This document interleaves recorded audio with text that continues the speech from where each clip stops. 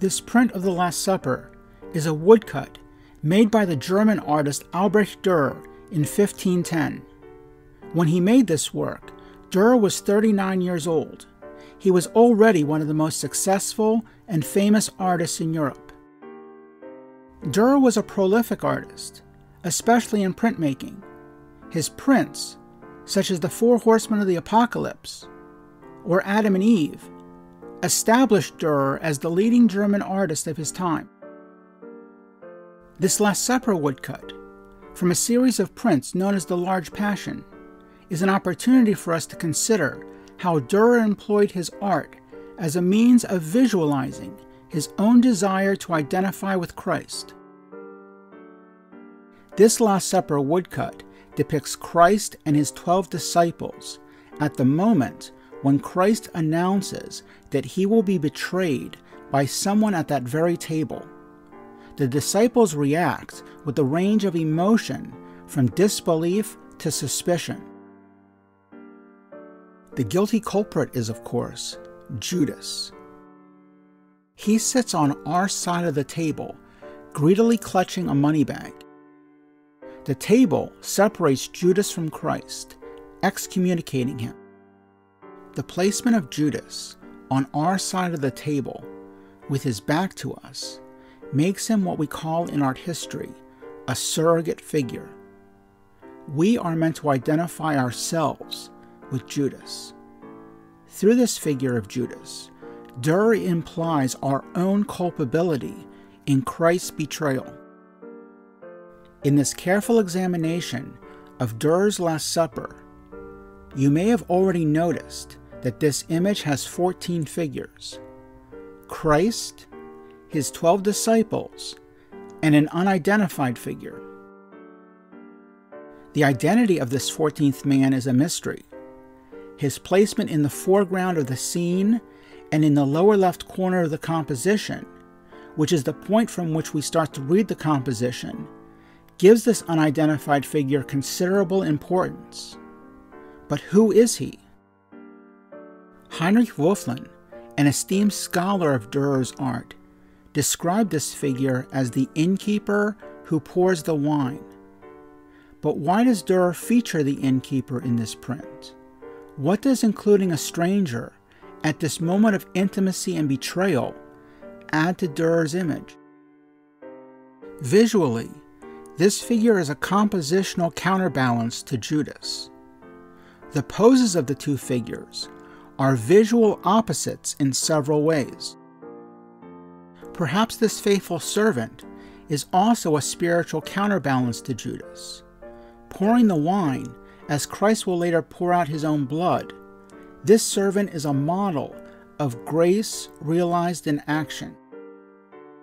Furthermore, by including the innkeeper, Dürer was able to add a 14th man a figure who is not Christ or a disciple, but rather just a common person. Dürer could have even used this man as a means of adding his own self portrait into this image of the Last Supper.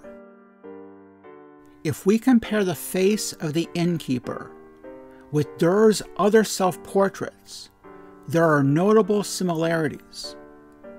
The sharp cheekbones, the angular nose, the curly hair, and most importantly, the beard. At a time when many German men were clean shaven, Dürer's beard was a sort of personal signature. In fact, Dürer frequently included self portraits in many of his works.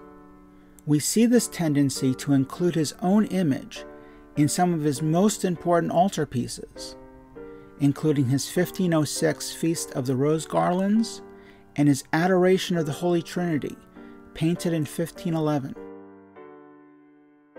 Dürer's propensity for including his own image in so many of his paintings has led scholars to search for so called hidden self portraits.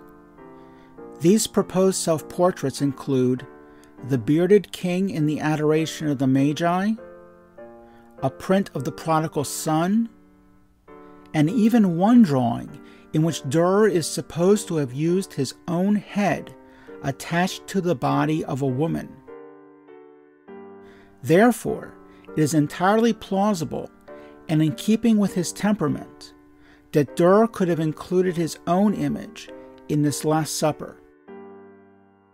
Because Dürer featured himself in so many of his paintings, he is the first European artist whose life and work can be told through self portraits. Albrecht Dürer was born May 21, 1471, in the city of Nuremberg. From a young age, Dürer had artistic ambitions. A self portrait that he made when he was 13 years old demonstrates that Dürer already had considerable talent and self confidence. Although his city of Nuremberg was one of the most prosperous in Germany, Dürer also traveled extensively throughout what is today Germany, France, Switzerland, Belgium, and the Netherlands. Most famously, Dürer made two trips to Venice. There he absorbed artistic lessons of the Italian Renaissance. In Dürer's 1498 self portrait, completed shortly after his return from his first trip to Italy, he depicts himself not as a manual laborer, but as a humanist gentleman. Dürer's Last Supper, completed within a few years of his return from his second trip to Venice, shows his understanding of Italian Renaissance art. In 1500, Dürer painted one of the most famous self portraits in the history of art. Scholars generally agree that Dürer deliberately employed this idealized, frontal, and symmetrical view of his face in order to resemble depictions of Christ. An image of the blessing Christ such as this work by Hans Memling, served as Dürer's inspiration. This type of devotional image was very popular in 15th century Northern European art. In this self portrait, Dürer has gone so far as to alter his appearance to conform his own image to that of Christ. Although, as seen in his other self portraits, Dürer had blonde hair. In this work, he depicts his hair and beard as brown, the traditional color of Christ's hair in Northern Renaissance art. Perhaps what is most gripping about Dürer's self portrait are his eyes. As the artist's face emerges from the dark background, his gaze looks right through us. In the detailed realism of Dürer's painting, his pupils act like convex mirrors. In the reflection of Dürer's eye, we can see a cross. This is probably a window frame in the artist's studio, but its meaning is clear. If the eyes are the windows to the soul, Dürer's sight is fixed on Christ. Dürer's famous self portrait has often been interpreted as an image that is not only self depiction, but also a statement of artistic purpose. This self portrait, as well as Dürer's inclusion of himself in so many of his religious works, suggest an adherence to the Devotio Moderna. This modern devotion was a form of piety popular in the 15th century. Based on Thomas à Kempis's The Imitation of Christ, the modern devotion emphasized personal piety with a spiritual objective of becoming more like Christ. Dürer's Last Supper is a visual statement of his desire to connect with Christ. Notice his monogram in the foreground. There is a line, visually articulated by the folded tablecloth and even the crack in the wood, that spiritually connects Dürer and Christ. As a devotional narrative image, the visual structure of Albrecht Dürer's Last Supper makes the sacred moment more directly accessible to the viewer.